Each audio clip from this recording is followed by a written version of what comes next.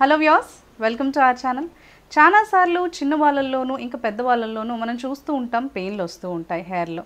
అయితే ఈ పెయిన్లని ఎక్కువగా చిన్నపిల్లలు స్కూల్కి వెళ్ళినప్పుడు స్ప్రెడ్ అవుతూ ఉంటాయి. సో పేర్లు రావడం వల్ల చాలా బ్లడ్ లాస్ కూడా జరుగుతూ ఉంటుంది. అంతేకాకుండా హెయిర్ లాస్ అవడం ఇంకా చాలా వేరే ఇతర ప్రాబ్లమ్స్ కూడా ఫేస్ చేయాల్సి వస్తూ ఉంటుంది. సో అందుకని పెయిన్లని క్యూర్ చేయడం అనేది చాలా ఇంపార్టెంట్. సో ఈ ప్రాబ్లమ్ని మనం ఇంట్లోనే న్యాచురల్ రెమెడీస్ని యూజ్ చేసుకొని ఎలా క్యూర్ చేసుకోవచ్చో ఇప్పుడు తెలుసుకుందాం.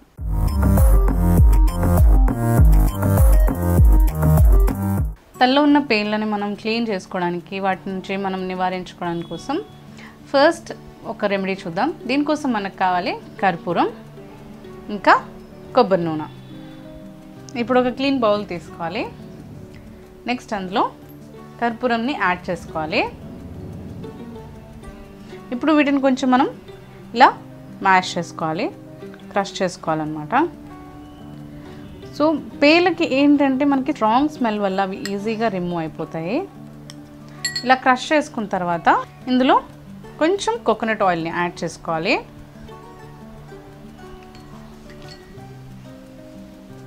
ఇలా యాడ్ చేసుకున్న తర్వాత ఈ మిక్స్చర్ని మీరు తలకి మొత్తం బాగా అప్లై చేసుకోవాలి.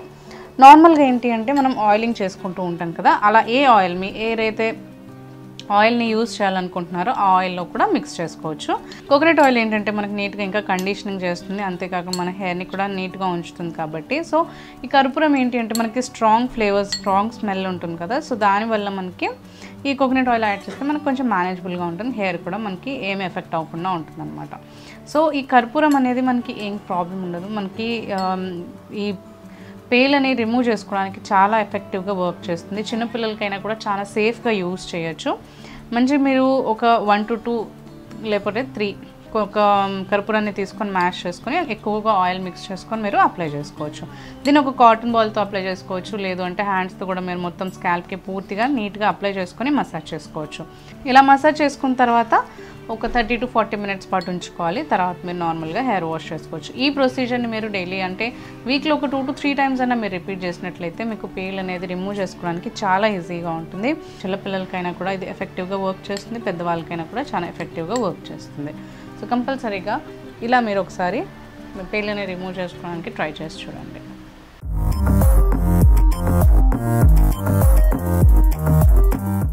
Second remedy. దీనికోసం మనకు కావాలి వేప నూనె అంటే నీమ్ ఆయిల్.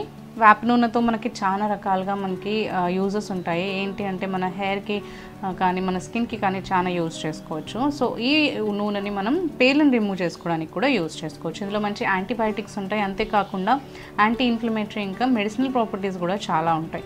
సో దీని స్ట్రాంగ్ స్మెల్ వల్ల దీని స్ట్రాంగ్ ఫ్లేవర్ వల్ల మనకి ఏంటి అంటే పేలు అనేవి చాలా ఈజీగా రిమూవ్ అయిపోతాయి. ఈ ఆయిల్ని కూడా మీరు కొంచెం బౌల్లో తీసుకుని మీ హెయిర్ మొత్తానికి మంచి నీట్గా అప్లై చేసుకోండి. స్కాల్ప్ మొత్తానికి ఇంకా మొత్తం హెయిర్కి కూడా మీరు అప్లై చేసుకోవచ్చు. అలా అప్లై చేసుకొని ఫార్టీ టు ఫిఫ్టీ మినిట్స్ వరకు మీరు ఉంచుకుంటే కంపల్సరీగా మీకు పేల్ అనేవి రిమూవ్ అయిపోతాయి. అలా అప్లై చేసుకున్న తర్వాత మీరు తర్వాత మళ్ళీ హెయిర్ వాష్ చేసుకోవచ్చు. కావాల్సిన మీరు హోల్ నైట్ కూడా నీమ్ ఆయిల్ని ఉంచుకోవచ్చు. నీమ్ వల్ల మీకు ఎలాంటి ప్రాబ్లం అనేది ఉండదు. సో కంపల్సరీగా ఈ రెమెడీ కూడా ఒకసారి ట్రై చేసి చూడండి. ఈ ఫ్లేవర్స్ వల్ల కూడా మనకి ఏంటంటే దీంట్లో ఉన్న ఘాటు వల్ల మనకి పేలు చాలా ఈజీగా రిమూవ్ అయిపోతుంది. ఇందులో యాంటీబయాటిక్స్ ఉంటాయి కాబట్టి మీ స్కాల్ప్ కూడా క్లీన్గా ఉంటుంది. డాండ్రఫ్ని క్లీన్ చేసుకోవచ్చు.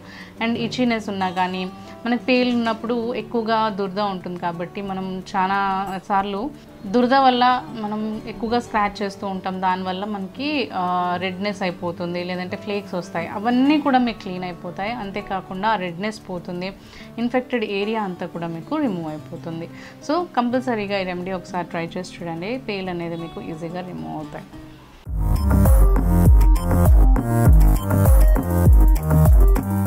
థర్డ్ రెమెడీ థర్డ్ రెమెడీలో ఏంటి అంటే apple cider vinegar apple cider vinegar కూడా చాలా స్ట్రాంగ్ ఉంటుంది. యాపిల్ సైడర్ వెనిగర్లో మనకి యాసిడిక్ ఫ్లేవర్ యాసిడిక్ నేచర్ అనేది ఎక్కువగా ఉంటుంది కాబట్టి దానివల్ల మనకి పేలు అనేవి రిమూవ్ అవుతాయి అన్నమాట ఒక్కొక్కసారి మనకి ఏంటి అంటే స్కాల్ప్లో ఉన్న డర్ట్ వల్ల లేదంటే డాండ్రఫ్ వల్ల ఇచ్చినెస్ వల్ల సరిగ్గా క్లీన్ చేసుకోకపోవడం వల్ల ఏదైనా కారణం వల్ల కానీ లేదంటే బయట నుంచి అయినా కానీ మనకి ఇన్ఫెక్షన్స్ వస్తూ ఉంటాయి. సో దానివల్ల ఒక్కొక్కసారి ఇవన్నీ వాడుతూ ఏదైనా ప్రోడక్ట్స్ వాడినప్పుడు కూడా మనకి ఏంటి అంటే స్కాల్ప్ ది పీహెచ్ బ్యాలెన్స్ అనేది మనకి తగ్గిపోతూ ఉంటుంది. సో అలాంటప్పుడు మనకి ఏదైనా అసిడిక్ నేచర్ అనేది రిమూవ్ అయిపోతుంది. సో మనకి మంచిగా అసిడిక్ నేచర్ ఉండడం వల్ల మనకి ఈ పేల్ అనేది మనం ఎప్పుడైతే ఈ అసిడిక్ నేచర్ ఉన్న యాపిల్ సైడర్ వెనిగర్ అనేది అప్లై చేసుకుంటామో సో అప్పుడు మనకి పేల్ అనేవి రిమూవ్ చేసుకోవచ్చు. అండ్ మనకి ఇది కూడా మనకి ఏంటంటే ఒక టూ టేబుల్ స్పూన్స్ మనం యాపిల్ సైడర్ వెనిగర్ తీసుకుంటే అందులో ఒక వన్ టేబుల్ స్పూన్ మనం నీళ్ళని మిక్స్ చేసుకోవాలి. కొంచెం స్ట్రాంగ్గా ఉండనివ్వాలి. ఎందుకు అంటే మనకి స్కాల్ప్ అయినా అది అప్లై చేసినప్పుడు పేలను రిమూవ్ చేయాలి కాబట్టి కొంచెం స్ట్రాంగ్గా ఉండనిస్తే బాగుంటుంది. అంటే equal to amount equal water కలపకుండా so two to three two three tablespoons of apple cider vinegar ఉంటే మీరు వన్ టేబుల్ స్పూన్ వాటర్ని మిక్స్ చేసుకోండి. యాపిల్ సైడర్ వెనిగర్ క్వాంటిటీ అనేది మీరు ఎక్కువ పెట్టుకోండి. లేదు యాపిల్ సైడర్ వెనిగర్ లేదు అనుకుంటే మీరు వైట్ వెనిగర్ని కూడా యూజ్ చేసుకోవచ్చు. నార్మల్గా మనం uh, చైనీస్ ఫుడ్స్లో వాడుతూ ఉంటాం కదా ఆ ఆ వెనిగర్ని కూడా మీరు యూజ్ చేసుకోవచ్చు. దానివల్ల కూడా మనకి ఏంటంటే పీల్ అనేది రిమూవ్ చేసుకోవచ్చు. ఏం లేదు నార్మల్గా కాటన్ బాల్తో మీరు అప్లై చేసుకోవచ్చు. లేదు అంటే స్ప్రే బాటిల్లో మీరు కొంచెం వెనిగర్ కొంచెం వాటర్ని మిక్స్ చేసుకొని మీ స్కాల్ప్ మొత్తం నీట్గా స్ప్రే చేసుకున్న తర్వాత ఒక ఫార్టీ టు ఫిఫ్టీ మినిట్స్ పాటు ఉంచిన తర్వాత మీరు వాష్ చేసుకోవచ్చు. మీ హెయిర్ మీద ఎలాంటి ఎఫెక్ట్ ఉండదు. మనకి ఎందుకంటే కొంచెం వాటర్ అనేది మిక్స్ చేసుకుంటున్నాం కాబట్టి. కాకపోతే కొంచెం హార్బల్ స్మెల్ ఉంటుంది. దానికి మీరు ఒక లెమన్ కానీ లేదంటే ఏదైనా ఎసెన్షియల్ ఆయిల్ని మిక్స్ చేసుకోవచ్చు. ఒకవేళ స్మెల్ మీ వల్ల కావట్లేదు అనుకుంటే ఏదైనా ఎసెన్షియల్ ఆయిల్స్ ఉంటాయి కదా ఫ్లేవర్డ్ ఎసెన్షియల్ ఆయిల్స్ అవి మిక్స్ చేసుకోవచ్చు. సో ఇది ఈ ప్రొసీజర్ కూడా అంటే వెనిగర్స్ కూడా మీకు ఏంటి అంటే స్కాల్ప్ పైన ఉన్న పేలని ఇంకా ఆ ఎగ్స్ని కూడా మనకి రిమూవ్ చేసుకోవడానికి చాలా బాగా ఉపయోగపడుతుంది. ఎవరికైనా సేఫ్గా యూజ్ చేయొచ్చు. కాకపోతే వాష్ చేసేటప్పుడు కూడా మీరు మైల్డ్ షాంపూస్ ఏదైనా యూజ్ చేస్తే బాగుంటుంది. ఎందుకంటే దీని ఎఫెక్ట్ అనేది మనకి ఇంకా వర్క్ చేస్తుంది. ఈ ప్రొసీజర్ని కూడా వీక్లో ఒక టూ టు త్రీ టైమ్స్ కనుక మీరు రిపీట్ చేయొచ్చు. సో ఇలా మీరు రెగ్యులర్గా కనుక పాటించినట్లయితే పేర్లు అనేవి మీకు ఈజీగా రిమూవ్ అయిపోతాయి. ఈ వీడియో కనుక మీకు నచ్చినట్లయితే లైక్ చేయండి షేర్ చేయండి. మీ అభిప్రాయాల్ని ఇంకా డౌట్స్ని మా కామెంట్స్లో తెలియచేయండి. మరి ఇలాంటి వీడియోస్ కోసం మా ఛానల్ని సబ్స్క్రైబ్ చేసుకోండి.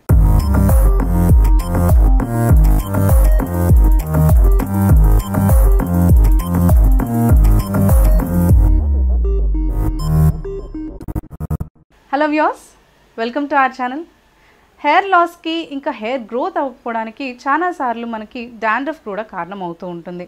అయితే ఎప్పుడైతే మనకి హెయిర్లో కానీ స్కాల్ప్లో కానీ డాండ్రఫ్ ప్రాబ్లం ఎక్కువగా ఉంటుందో సో మన హెయిర్ గ్రోత్ కూడా స్టాప్ అయిపోతుంది. అంతేకాకుండా హెయిర్ ఫాల్ కూడా చాలా జరుగుతుంది. అందుకని ఈ డాండ్రఫ్ని మనం క్యూర్ చేసుకోవడం చాలా ఇంపార్టెంట్ సో ఈ డాండ్రఫ్ని మనం ఇంట్లోనే న్యాచురల్ రెమెడీస్ని యూజ్ చేసుకొని క్యూర్ చేసుకోవచ్చు. ఇప్పుడు ఆ రెమెడీస్ ఏంటో తెలుసుకుందాం.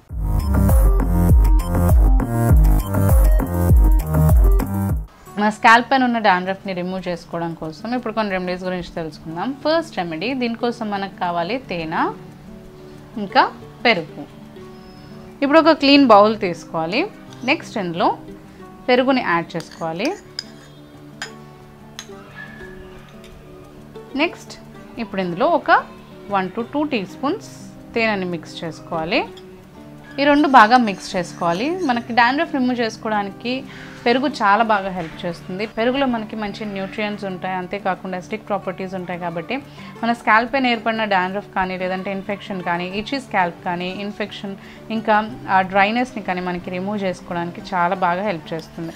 అండ్ ఇందులో మనం తేనెని యాడ్ చేసాం కాబట్టి తేనె అనేది మన హెయిర్ని నీట్గా కండిషనింగ్ చేస్తుంది స్మూత్గా ఉంచుతుంది హైడ్రేటెడ్గా ఉంచుతుంది. అంతేకాకుండా మనకి డాండ్రఫ్ని స్టాప్ చేయడానికి కూడా ఈ తేనెలో కూడా మంచి మనకి యాంటీబయాటిక్స్ ఉంటాయి కాబట్టి మనకి తేనె కూడా మన డాండ్రఫ్ని రిమూవ్ చేయడానికి చాలా బాగా హెల్ప్ చేస్తుంది. ఈ రెండింటి కాంబినేషన్లో కానీ మీకు ఈ మిక్స్చర్ని కనుక మీ స్కాల్ప్ పైన అప్లై చేసుకుంటే మీకు డాండ్రఫ్ అనేది చాలా ఈజీగా క్యూర్ చేసుకోవచ్చు.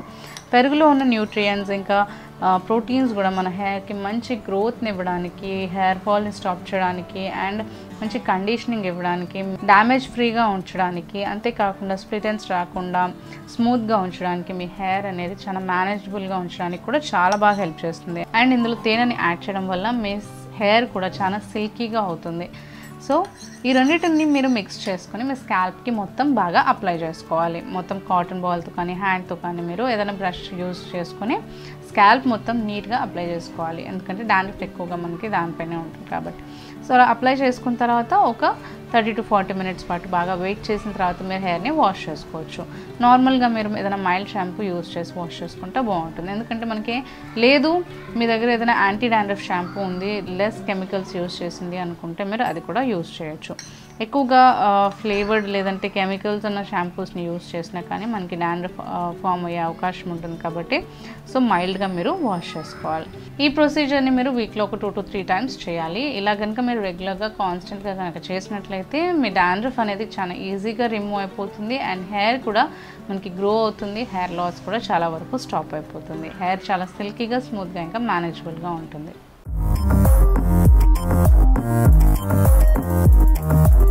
సెకండ్ రెమెడీ దీనికోసం మనకు కావాలి ఏంటంటే లెమన్ లెమన్ని మనం స్క్వీజ్ చేసుకోవాలి. లెమన్ జ్యూస్ రిమూవ్ చేయాలి.